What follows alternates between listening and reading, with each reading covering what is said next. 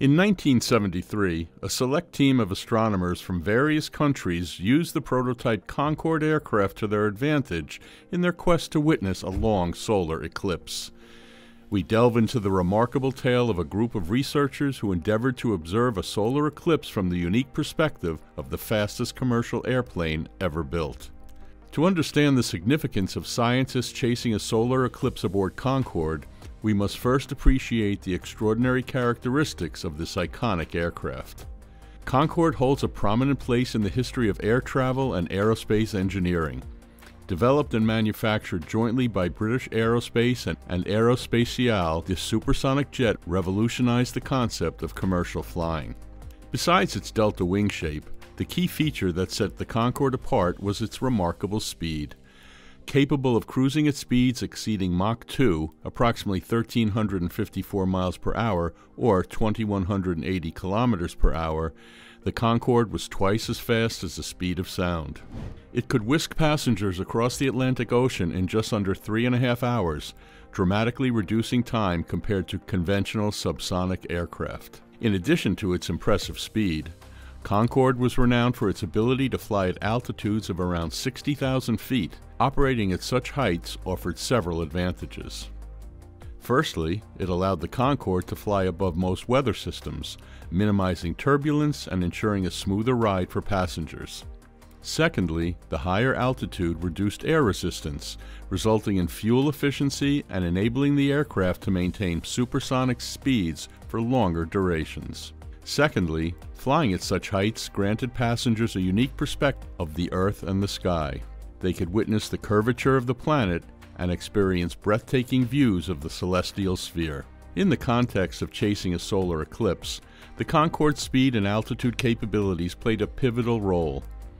These attributes allowed researchers to access unique perspectives of the eclipse and observe it from a vantage point beyond conventional aircraft's reach. According to Vice, in May 1972, slightly more than one year before the celestial event, Pierre Lena, an astronomer from the Paris Observatory, presented his proposal to André Turcat, a French test pilot.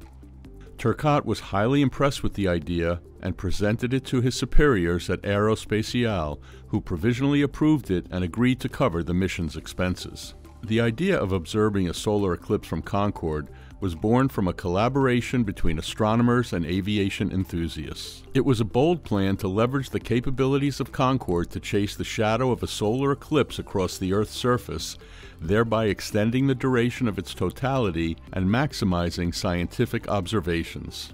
The first challenge was pinpointing an upcoming solar eclipse and calculating its path and timing accurately. These researchers conducted astronomical calculations to determine the trajectory of the moon's shadow during the eclipse, taking into account the Concorde's speed, altitude, and flight capabilities. Lena and Turcat performed extensive simulation and a couple of test flights to fine-tune the logistics and ensure the mission's feasibility. Meanwhile, at the Astrophysics Department at Queen Mary College London University, Dr. John Beckman and other researchers were keen on making far infrared observations of the eclipse to learn about the Sun. He put two and two together and came up with the answer Concorde, recalls Jim Lesurf, ex QMC student. Lesurf had spent some months developing and testing at QMC and flew to Aerospatiale's facilities in Toulouse at the start of May 1973. The QMC research team, Lena, Lesurf, Jim Hall, John Beckman, and Tony Marston collaborated closely with Concorde pilots and navigators, sharing their expertise in celestial mechanics and eclipse predictions. QMC wasn't the only research team using 001 at the time. There were also researchers from Los Alamos in the US, two groups from France, and one from Aberdeen University. In addition, there was already an ongoing project run by Dr. Jim Birch of the UK National Physical Laboratory. Together, they worked to synchronize Concorde's flight trajectory with the path of the eclipse, aiming for a perfect interception that would provide an optimal viewing and research experience. The planning also extended to the selection and preparation of the astronomer who would embark on the expedition.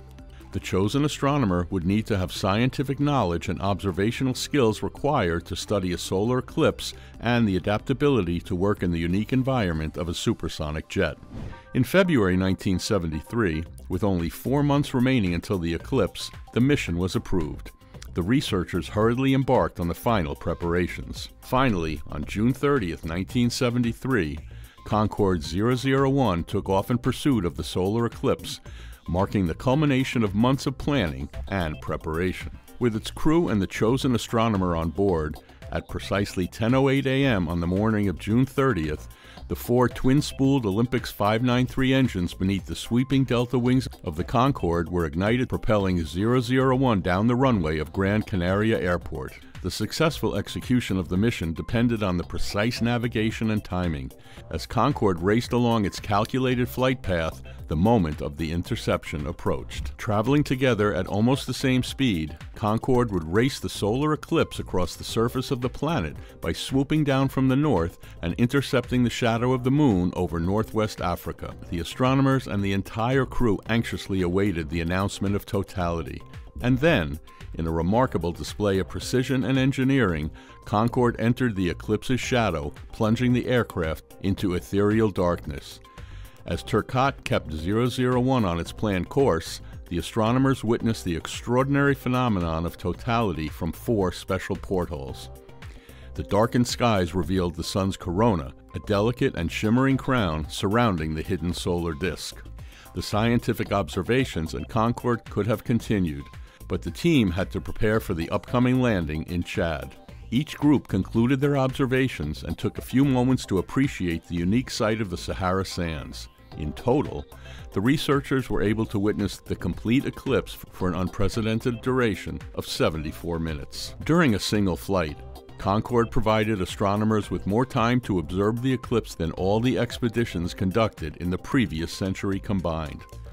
Concorde's pursuit of a solar eclipse left a lasting legacy and had a significant scientific impact. This extraordinary endeavor not only pushed the boundaries of aviation, but also provided invaluable opportunities for astronomical research and deepened our understanding of the Sun's behavior and structure. One of the key scientific contributions of the Concorde solar eclipse chase was the extended duration of totality. By intercepting the eclipse's shadow and continuously flying within it, the astronomer aboard the Concorde gained precious extra minutes of observing time during the event. This extended period of totality allowed for more detailed and comprehensive scientific observations of the Sun's corona, magnetic fields, and other phenomena that occur during eclipses. The data collected during the chase contributed to advancements in solar physics and provided valuable insights into the intricate workings of our nearest star. Moreover, Concorde's unique vantage point offered an unattainable perspective from the ground or conventional aircraft. Flying at an altitude of around 60,000 feet above much of Earth's atmospheric interference provided a clear and unobstructed view of the eclipse. This unfiltered view allowed for detailed observations of the corona and other solar features, free from the distortions caused by Earth's atmosphere. The collaboration between astronomers and the Concorde highlighted the potential for future astronomical research and exploration from high altitude platforms. The success of the mission demonstrated the feasibility and benefits of using advanced aircraft to conduct scientific observations in the upper atmosphere. It opened up new avenues for studying not only solar eclipses, but also other celestial events and phenomena that unique capabilities of high altitude platforms could enhance. During the 1999 solar eclipse over Europe, three Concordes, one from France, two from Britain, briefly pursued the moon's shadow However, the passengers on board were tourists. Concorde's chase of a solar eclipse was a testament to human ingenuity, collaboration, and the relentless pursuit of knowledge. This extraordinary endeavor not only pushed the boundaries of aviation, but also deepened our understanding of the sun and its celestial dance. By extending the duration of totality and providing a unique vantage point, Concorde enabled valuable scientific observations and contributed to advancements in solar physics. Although the Concorde is no longer operational, Its solar eclipse chase serves as a reminder of the remarkable achievements that can arise from collaboration between different disciplines and the relentless pursuit of pushing the boundaries of human knowledge. The Concorde Solar Eclipse Chase demonstrated the power of combining cutting edge technology, scientific expertise, and the inherent curiosity of the human spirit to unlock the secrets of the universe.